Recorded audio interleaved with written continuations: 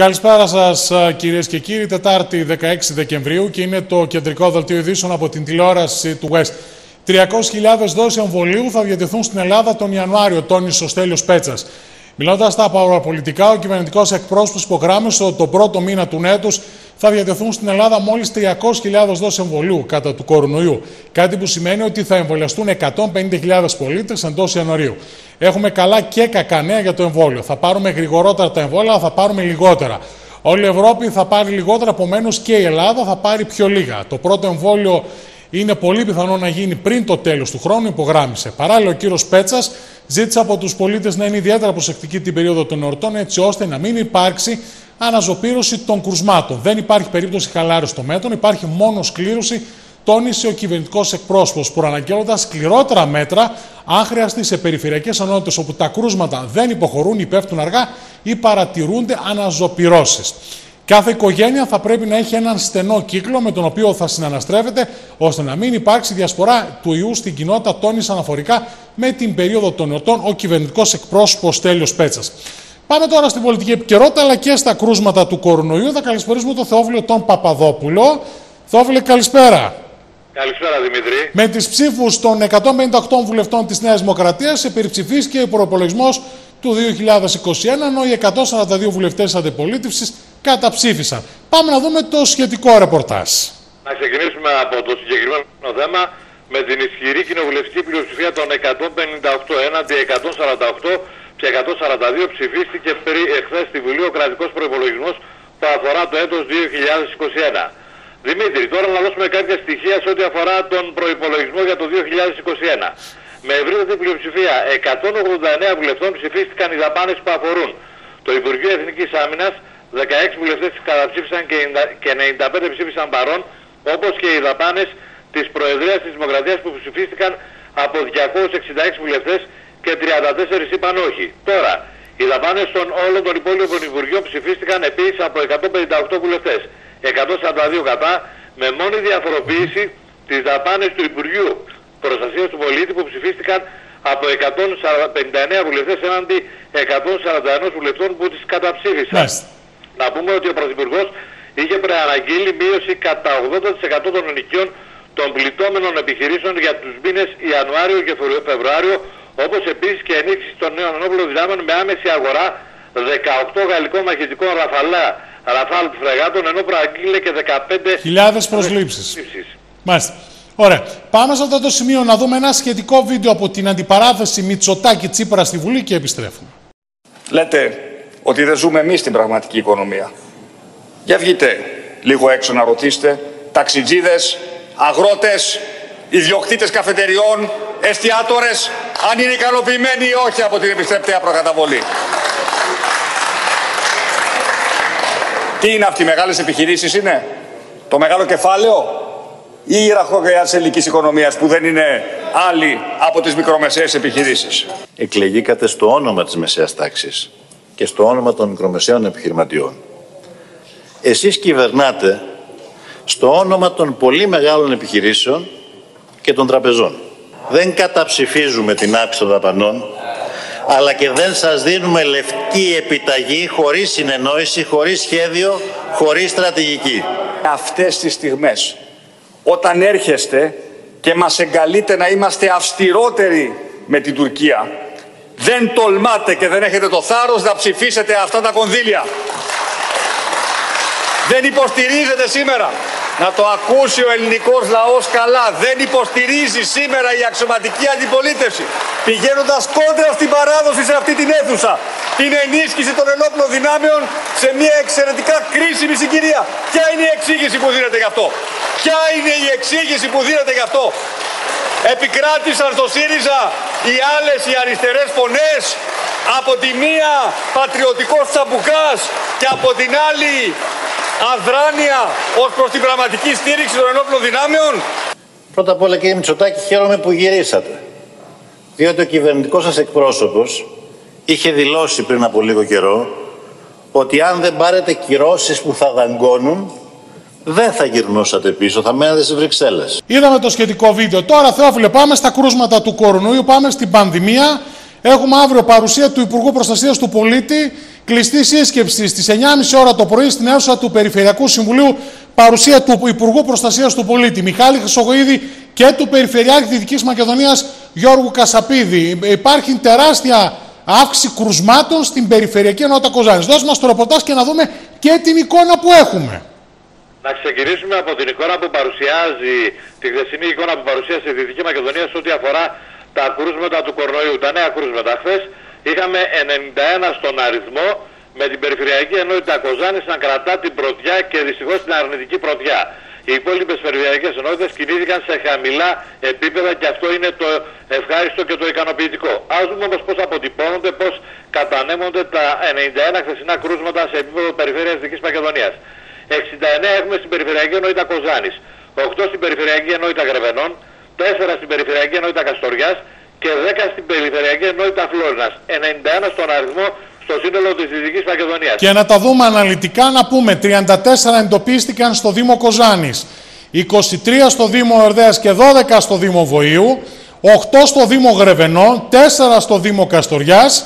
Και στην ΠΕ Φλόρινας έχουμε 10 κρούσματα, εκ των οποίων 6 στο Δήμο Φλόρινας, και 4 στο Δήμο Αμυντέου. Βλέπουμε μια μείωση στις άλλες περιφερειακές ενότητες, αλλά μεγάλη αύξηση στην Περιφερειακή Ενότητα Κοζάνης και γι' αυτό πραγματοποιείται και η έκτακτη σύσκεψη παρουσία του Υπουργού του Μιχάλη Χρυσογοίδη τώρα, Θεόφιλο. Δώσε μας το ρεπορτάζ.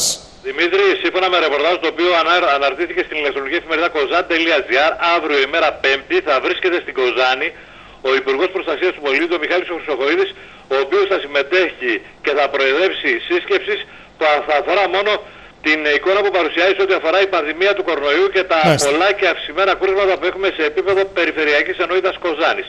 Είναι πολύ φυσιολογικό να έχει θορυβηθεί και η πολιτική ηγεσία της χώρας και για αυτόν τον λόγο βέβαια έρχεται στη Δυτική Μακεδονία και δει στην Κοζάνη ο Υπουργός Προστασίας του Πολίτη, ο κ. Χρυσοχοίδης. Και να πούμε ότι ήρθε ε, το μεσημέρι αργά το δελτίο τύπου της Περιφέρειας, 9 και μισή κλειστή σύσκεψη για τα θέματα της πανδημίας, παρουσία του Υπουργού Μιχάλη Χρυσοχοίδη στην αίθουσα του Περιφερειακού Συμβουλίου και του Περιφερειάρχη Δυτικής Μακεδονίας. Στη σύσκεψη θα συμμετέχουν ο Αντιπεριφερειάρχης Κοζάνης, ο Αντιπεριφερειάρχης Κοινωνικής Ανάπτυξης και Μέρημνας, οι δήμαρχοι της ΠΕ Κοζάνης, ο διοικητής της Τρίτης ΥΠΟ, ο διοικητής του Μαμάτσου Νοσοκομείου, ο διοικητής του Ποδοσάκη, ο γιατρός συντονιστής του ΕΟΔΗ, ο γενικός διευθυντής Δημόσιας Υγείας, ο πρόεδρος του Ιατρικού Συλλόγου Κοζάνης, ο πρόεδρος του ΕΒΕ Κοζάνης και οι εκπρόσωποι των σωμάτων ασφαλείας. Αυτή είναι η επίσημη ενημέρωση που ήρθε από την περιφέρεια της Δυτικής ε, Μακεδονίας. Θα τα δούμε αναλυτικά αύριο. Να δώσουμε συνέχεια τώρα στον κορονοϊό. Τι άλλο έχουμε, Θεόφιλε; Δωρεάν rapid test στο Δήμο Ορδέα αύριο 5η 17 του μήνα από τις 11 το πρωί μέχρι και τις 2 το μεσημέρι. Ο Δήμος Ορδέα έδωσε για αυτόν τον λόγο μια ανακοίνωση στη δημοσιότητα που ενημερώνει ότι αύριο 5η 17 Δεκεμβρίου και από ώρες 11 το πρωί μέχρι και 2 το μεσημέρι θα πραγματοποιηθεί δωρεάν έλεγχος ταχείας ανείχνευσης κορονοϊού, δηλαδή το γνωστό σε όρους rapid ε, test σε συνεργασία με τον Εθνικό Οργανισμό Δημόσιας Υγείας στην είσοδο της πόλης της Τολεμαΐδας. Είναι θέματα βέβαια που αφορούν την υγεία, είναι μια προληπτική καθαρά ενέργεια και κινείται στη σωστή και μόνο καθέτηση γιατί πρέπει Δημήτρη πάση θυσία να μειωθούν θεαματικά κρούσματα του κορονοϊού που έχουμε στην περιφερειακή ενότητα Κοζάνης. Και επειδή αναφέρθηκε στην Πτολεμαίδα, να πούμε ότι την εικόνα που έχουμε στο νοσοκομείο, περισσότερα από 50 ασθενείς στις κλινικές COVID-19 στο Ποδοσάκιο νοσοκομείο, από τη Δυτική και Κεντρική Μακεδονία ένα δημοσίευμα το, στο kozan.gr, από τους οποίους πέντε νοσηλεύονται στην κλινική των ύποπτων περιστατικών, ενώ γεμάτες είναι και οι έξι κλίνες στη μονάδα εντατικής θεραπείας. Αυτά όσο αφορά το ποδοσάκιο και επειδή αναφέρθηκες και στα rapid test, να πούμε ότι το Σάββατο 19 Δεκεμβρίου θα πραγματοποιηθούν έλεγχοι ταχείας ανείχνευσης ε, αντιγόνου, rapid test, μέσα από το αυτοκίνητο στον ε, Δήμο Φλόρινα από κλιμάκιο του ΕΟΔΗ οι έλεγχοι θα είναι εθελοντικά και δωρεάν και θα γίνονται μέσα από το αυτοκίνητο στον κύκλο στην είσοδο της πόλης, πλατεία Μεγάλο Αλεξάνδρου, από τις 10 το πρωί μέχρι και τις 2 το μεσημέρι. Αυτά όσον αφορά, Θεόφιλε, με τον ε, κορονοϊό. Τώρα... Έχουμε κι άλλα από ναι, ναι. κορονοϊό. Είναι μια κόντρα η οποία έχει γεννηθεί και έχει ανάξει, ανοίξει ανάμεσα στον Αντιπεριφερειάρχη της Περιφερειακής Ενότητας Γρεβανών, τον Γιάννη τον Γιάσκιο και τον Περιφερειακό Σύμβουλο του Συνδυασμού Ελπίδα, τον Γιώργο τον Χριστοφορίδη. Αφορμή βέβαια ήταν η χθεσινή συνεδρίαση της Οικονομικής Επιτροπής. Να πούμε εδώ ότι οι συνεδριάσεις γίνονται με τη μέθοδο της τηλεδιάσκεψης, δεν γίνονται διαζώσεις, όπου εκεί τέθηκε ένα θέμα που αφορά την ενοικίαση ενός χώρου στα Γρεβενά όπου θα στεγαστεί η υπηρεσία του ΕΟΔΗ η οποία θα πραγματοποιηθεί ελέγχους σε ό,τι αφορά τα rapid test. Εκεί υπήρχε μια έντονη έτσι, απέτηση από την πλευρά του Γιώργου του Χριστοφορίδη ο οποίος ζητούσε να ενημερωθεί από τον Γιάννη το Γιάσιο το, για το ποσό ας πούμε το ενοικίαση του συγκεκριμένου χώρου και εδώ Δημήτρη οφείλω να ανοίξω μια παρένθεση και να σταθώ. Αλήθεια, αυτό το τεράστιο κτηριακό συγκρότημα που ακούει στο όνομα νοσοκομείου Γρεβενών και το οποίο είναι, δεν είναι λειτουργικό, το γνωρίζουν οι πάντες στο 100%. Δεν έχει χώρους οι οποίοι μπορούν να παραχωρηθούν με απόφαση του διοικητή του νοσοκομείου στις υπηρεσίες του ΕΟΔΗ για να γίνονται εκεί οι έλεγχοι για να μην χρεωθούν και επιβαρυνθούν οικονομικά επιπρόσθετα οι υπηρεσίες της Περιφερειακής Αρχής. Εγώ το βάζω σαν ερώτημα αυτό γιατί γνωρίζω πολύ καλά ότι υπάρχει χώρος ο οποίος είναι μη λειτουργικός εκεί που παλιά υπήρχε η παιδιατρική κλινική, έχω και πολλά περισσότερα γιατί έχω κάνει ρεπορτάζ για αυτό το κομμάτι, Ναι, ναι. ο οποίος μπορεί άνετα να παραχωρηθεί μετά από απόφαση του διοικητή στις υπηρεσίες του ΕΟΔΗ και για να μην ε, υπάρχουν ας πούμε επιβαρύνσεις οικονομικές στην Περιφερειακή Αρχή και καλή ώρα στην Περιφερειακή Ενότητα Γρεβενών Μάλιστα. και στον Γιάννη το Γιάννη, ο οποίος είναι και υπεύθυνος από την Περιφερειάρχη. Τώρα, η κόντρα που άνοιξε ανάμεσα στους δύο νομίζω δεν εξυπηρετεί τίποτα. Είναι μια κόντρα που γίνεται καθαρά για λόγους που λέμε το Θεαθήνε και δεν μας βοηθάει σε τίποτα. Ειδικά αυτή την κρίσιμη περίοδο δεν θα μείνουμε όπως σωστά ανέφερε ο κύριος Γιάννης τι θα δώσουμε 50 ή 100 παραπάνω. Το θέμα είναι να υπάρχει αξιοποίηση Μάλιστα. όλων των δημόσιων χώρων που δυστυχώς δεν αξιοποιούνται. Μας ακούει η κυρία Καπάτου, η διοικήτρια του νοσοκομείου Δεκρεβενών. Δεν ξέρω αν μπορεί να απαντήσει τι επόμενες μέρες στο θέμα αυτό, αν υπάρχει χώρος. Πάμε να δούμε την αντιπαράθεση μεταξύ του Αντιπεριφερειάρχη Γρεβενών, του κυρίου Ιωάννη Γιάτσου, αλλά και του Περιφερειακού Συμβούλου της Αντιπολίτευσης, του κυρίου Χριστοφορίδη, αλλά και τις εχμέ που άφησε ο κύριος Γιάτσος στον κύριο Χριστοφορίδη ότι επί Καρυπίδη Περιφερειακής Αρχής, όταν ήταν Περιφερειακός Σύμβουλος και μάλλον εκεί και φώναζε, τα ψήφιζε όλα. Χαμογέλασε ο Ηλίας ο Κάτανας, πάμε να δούμε την αντιπαράθεση. Θέλουμε να είμαστε έτοιμοι να εξυπηρετήσουμε μια κατάσταση τώρα που είναι όλα τα πράγματα μέσα στη φωτιά και υπάρχει αύξηση κρουσμάτων και το βλέπετε. Τώρα, Γιάννη, το αν συγγνώμη λίγο θέλουμε να διακοπώ. ασχοληθούμε να Γιάννη, πούμε για το, για, τα, να για το βοηθήσω 50 και για τα 30 ευρώ, άμα το κοστολογείτε εσείς όλη αυτή την προσπάθεια για 50 και 100 ευρώ, ο καθένας θα κρυθεί. Τώρα δηλαδή τι κουβεντιάζουμε, για 50 ευρώ κουβεντιάζουμε και 100. Παιδιά, να, να, να Τι να κάνουμε βοηθήσω. δηλαδή, αφού αυτή είναι η Δηλαδή δουλειά άμα μας. ρε Χριστοφορίδη δεν ήταν 2-2-2-400 και ήταν 2-200 θα ήσουν ευχαριστημένος όλα να στείλουμε νέα εισήγηση με 2-200 να ικανοποιηθείς για να πετύχεις και το στόχο της οικονομίας. Σε παρακαλώ τώρα. Ωραία, κάθε όχι, φορά ωραία. τα ίδια. Ε, ε, όχι κάθε, Κάθε φορά. φορά τα ίδια. Από την Ε, ώρα που συμφωνώ. άλλαξες στρατόπεδο, από την ώρα που άλλαξες στρατόπεδο, άλλαξες και χαρακτήρα. Λοιπόν, Ξέρω και ναι. πριν πώς λειτουργούσες όταν ήσουν με τη συμπολίτευση και όλα με λιγάλα. Σε παρακαλώ τώρα, εντάξει, κάνε με υπομονή όλο αυτό το διάστημα, αλλά κάποια, κάποια στιγμή έχεις ξεφύγει τώρα. Λοιπόν, Τώρα το δηλαδή το, το, το έχει Πρόεδρε, σταματήσει. Πρόεδρε, Κύριε Κάτσο, κύριε πρόεδρε, Κάτσο. πρόεδρε, Ναι. κάτσε, όχι. Σε παρακαλώ τώρα. Εγώ, Έχουμε μείνει πάρα τι πολύ με παρακαλάς, over το τι με θέμα. παρακαλάς; Εμένα γιατί με παρακαλάς, τι είμαι εγώ να με Μα παρακαλείς. δεν σε παρακαλώ, αλλά Πρόεδρε, προσπαθείς να δημιουργήσεις εντυπώσεις και, σε, πα- και σου Άκου. επαναλαμβάνω και σου λέω ότι αν ήταν 2.200 θα χειροκροτούσε την Περιφερειακή Αρχή και στα 2.400 δεν τη, χει- όχι, όχι θα τη χειροκροτούσες. Δε- Θα ψήφιζες και στα 2.400 δεν το ψηφίζεις; Λοιπόν, φέρε Δηλαδή ένα τώρα θέμα- αυτό άμα μας Άκου, κοιτά, ο άκου. κόσμος, ο κόσμος που μας και- κοιτάει χαμογελάει και λέει τι κάθονται τώρα και κουβεντιάζουν. Οπότε ας το τελειώνουμε, σας παρακαλώ. Όχι, κυρία Πρόεδρε, κάτσε, εδώ τώρα είπε πολλά πράγματα. Καταρχήν, πρώτον, Τι είπα; δεν Και σου λίγα πέφτει- είπα. Πού να δεν πω; σου- Άκου, δεν σου πέφτει κανένας λόγος, έτσι, το τι κάνω εγώ. Έτσι, εσύ διοικείς. Ένα αυτό. Δεύτερον, το ότι αν ε, συ- καθόμαστε και συζητάμε εδώ για 20 και 30 ευρώ, είναι γιατί έρχονται τέτοια θέματα και συζητάμε.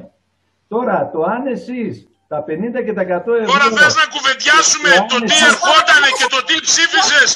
Σε παρακαλώ τώρα. Σε παρακαλώ τώρα. Τι εννοείς έρχονται τέτοια θέματα; Έρχονται σοβαρά θέματα που θέτει η Περιφερειακή Αρχή. Δεν Τελειώνουμε, κατάλαβα. σας παρακαλώ πολύ. Πρόεδρε, άκου τώρα. Δεν κατάλαβα. Ψηφίζετε. Πρόεδρε, επί της διαδικασίας. Εδώ, εδώ, εδώ. Ναι, ναι, ναι. Εδώ τώρα, ε, ως μέλος της Οικονομικής Δηλαδή, Έτσι. Ναι, το Εδώ τώρα, καταψήφισα. Πρόεδρε, κράτα τη διαδικασία λίγο. Δεν μπορεί τώρα ο κύριος Γιάτσος να παρεμβαίνει. Μα και- εσείς με καλέσατε κύριε Χριστοφορίδη, εσείς προσωπικά είπατε να επικοινωνήσουμε με τον κύριο Γιάτσιο. Αν κακός μπήκα, κακός με καλέσατε. Λοιπόν, Εγώ Το δεν είχα καταψηφίζετε; καμία, καμία διάθεση σε αυτό. Εγώ κάνω ερωτήσεις. Ο λόγος ο λόγος της αντιπολίτευσης έτσι, είναι αυτός. είναι να παρατηρεί, έτσι. Να κάνει σοβαρές ερωτήσεις η αντιπολίτευση και όχι να προσπαθεί τώρα. Κύριε Γιάννη, να Έτσι. το τελειώσουμε. Τέλος Λοιπόν, πάντων, το κυρία Πρόεδρε, καταψηφίζει εγώ από ό,τι βλέπω... Καλή δύναμη, έτσι, καλή συνέχεια, υγεία. Να είστε Έτσι, καλά. από ό,τι βλέπω εδώ τώρα, λέει να είμαστε σοβαροί. Εγώ δεν είδα καμία σοβαρή τοποθέτηση όμως από τον Αντιπεριφερειάρχη Κρετονών. Μια, πε- μια τοποθέτηση με πολιτικό πρόσημο.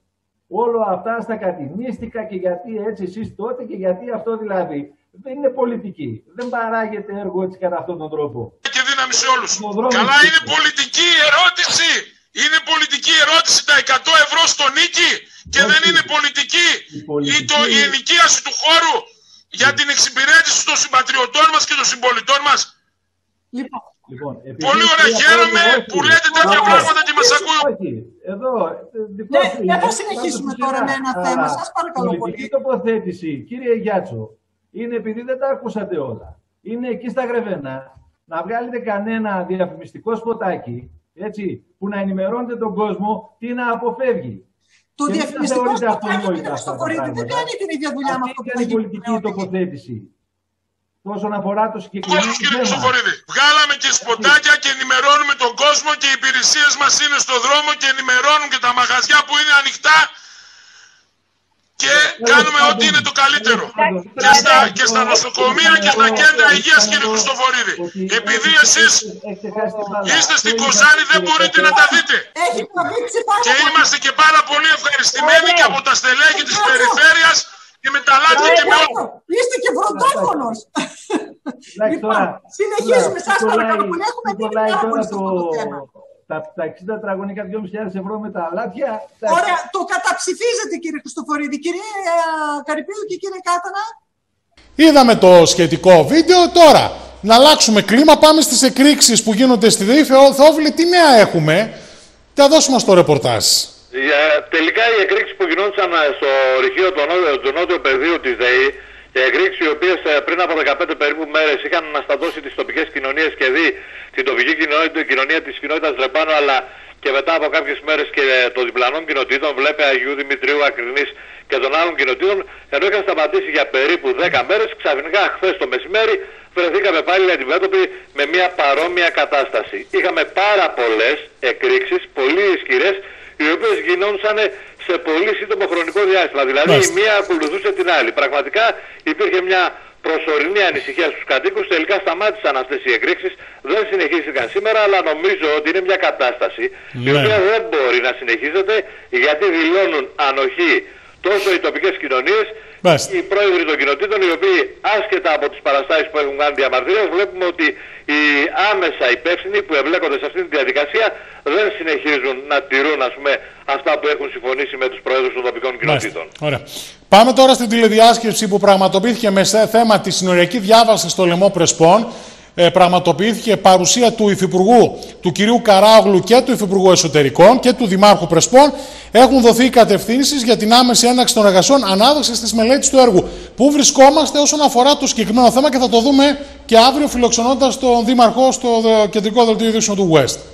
Εδώ να πούμε για λόγους ιστορικούς και για λόγους καθαρά ενημέρωσης ότι είναι ένα θέμα το οποίο προσωπικά το έχει αναλάβει ο Δήμαρχος του Δήμου Πρεσπών ο Παναγιώτης ο Πασχαλίδης ο οποίος ήθελε διακαώς να λειτουργήσει αυτή η διασυνοριακή διάβαση και Ναι, έτσι, ναι. λοιπόν σε αυτό το περιβάλλον είχαμε χθες 3η 15 του μήνα μια τηλεδιάσκεψη με αποκλειστικό θέμα τη συνοριακή διάβαση στο λαιμό Πρεσπών.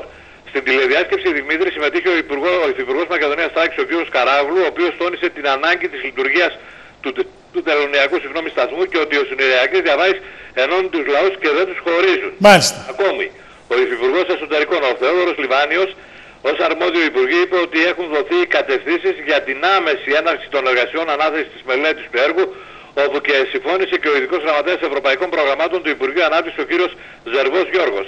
Να Ναι, πούμε ήταν ότι πολλοί συμμετείχαν- υπουργοί πάντως. Είδαμε αρκετούς υπουργούς στη σύσκεψης. Μάλιστα. ναι, ναι, να πούμε ότι συμμετείχαν τα στελέχη της Αναπτυξιακής Εταιρείας Δυτικής Μακεδονίας, ο Τάσος ο Σιδηρόπουλος και ο Γιάννης ο Κίνης, Διευθυντής Προγραμμάτων και Διευθυντής Μελετών, οι οποίοι, οι οποίοι παρουσιάσαν το ιστορικό της όλης προσπάθειας και Μάλιστα. ανέλησαν βέβαια τα στοιχεία, τα επιπρόσθετα στοιχεία και ακόμη συμμετείχε στη διαδικασία ο Αντιπεριφερειάρχης της Περιφερειακής Ενότητας Φλόρινας, ο Γιάννης ο Κιωσές, ο οποίος ε, μετέφερε βέβαια και τη βούληση του Περιφερειάρχη να βοηθήσει σε οποιαδήποτε κατάσταση και ό,τι χρειαστεί. Να πούμε Ωραία. εδώ ότι Είναι ένα αίτημα διαχρονικό, είναι ένα στίχημα θα έλεγα προσωπικό του Παναγιώτη Πασχαλίδη επιτέλους να λειτουργήσει αυτή η διασοντιακή διάβαση.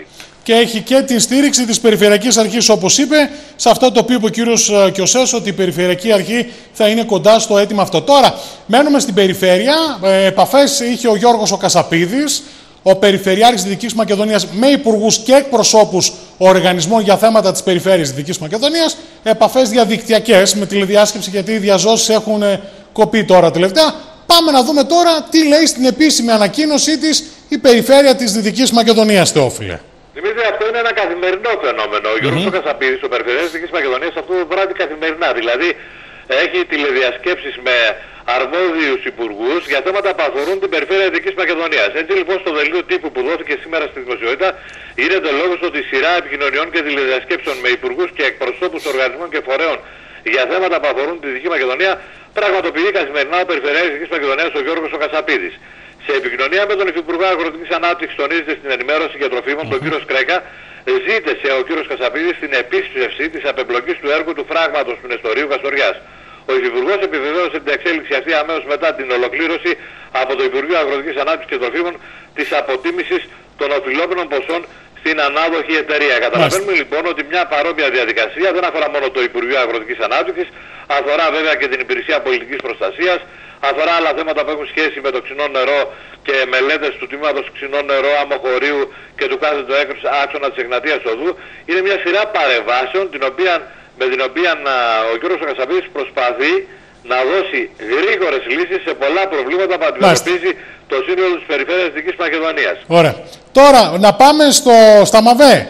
Η διαφάνεια και η δημοκρατία φάβονται στα ΜΑΒΕ και τον Χιτά Αμιάντου τονίζει σε ανακοίνωσή της ο, η Γεωργίας Ζεπιλάδο, συνδυασμός Ελπίδα. Για να δούμε τώρα, τι λέει ο συνδυασμός Ελπίδα του Περιφερειακού Συμβουλίου. Είναι μια παρέμβαση την οποία έχει κάνει η Γεωργία Ιζεπηλιάδου, η επικεφαλής του συνδυασμού Ελπίδα στο Περιφερειακό Συμβούλιο, συγκεκριμένα με δελτίο τύπου το οποίο έχει δώσει στη δημοσιότητα, η κυρία Ζεπηλιάδου αναφέρει ότι μετά την απάντηση του Αντιπεριφερειάρχη Ενέργειας σε επερώτηση του συνδυασμού μας για την διαφαινόμενη προσπάθεια μετατροπής το μεταλλείο αμοιά του Βορείου Ελλάδος, δηλαδή τα γνωστά σε όλους ΜΑΒΕΣ, η ηχητά αμοιά του όλης της χώρας, εκφράσαμε την έντονη ανησυχία μας για τις εξελίξεις αυτήν α, που προμηνύονται.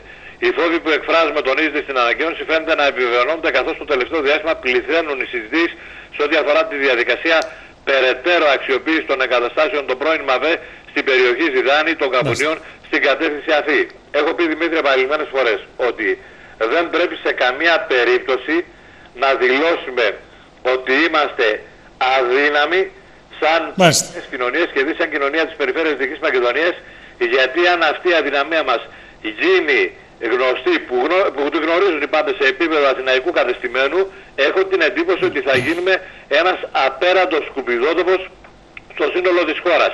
Δηλαδή τα πρώην ορυχεία της ΔΕΗ τα οποία το ένα μετά το άλλο καθίστανται ανενεργά θα είναι ο απέραντος σκουπιδότοπος όπου θα έρθουν να θάβονται όλα τα απορρίμματα της χώρας και όχι μόνο.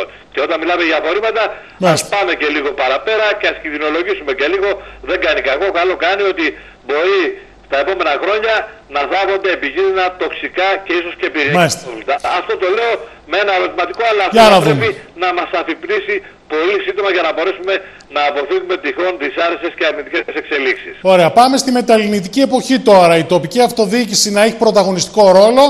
Ε, είναι με μια παρέμβασή του το στέλεχος της Αναπτυξιακής Δυτικής Μακεδονίας και πρώην αντιδήμαρχος Σερβίων, Βελβεντού, ο κύριος Νίκος Λαζαριώτης τώρα. Ε, αυτοδιοικητικός με μεγάλη πορεία στο χώρο. Τι λέει ο κύριος Λαζαριώτης τώρα; Δημήτρη, είναι ένα άρθρο παρέμβαση που έδωσε νωρί σήμερα το μεσημέρι στη δημοσιότητα το πρώην στέλεχος της Αναπτυξιακής Δυτική Μακεδονίας. Ασυνταξιοδοτήθηκε ο κύριος Λαζαριώτης. Ε, Α, μάλιστα. μάλιστα. Ο κύριος Λαζαριώτης είναι οικονομολόγος στην ιδιότητα, στο επάγγελμα.